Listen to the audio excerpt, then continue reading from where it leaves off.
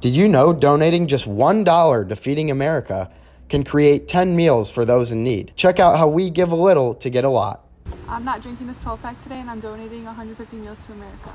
Instead of ordering from Wingstop, I'll be donating 230 meals to Feeding America.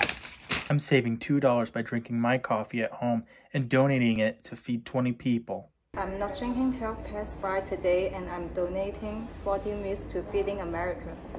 I'm not drinking this 12 pack today and I'm donating 150 meals to Feeding America.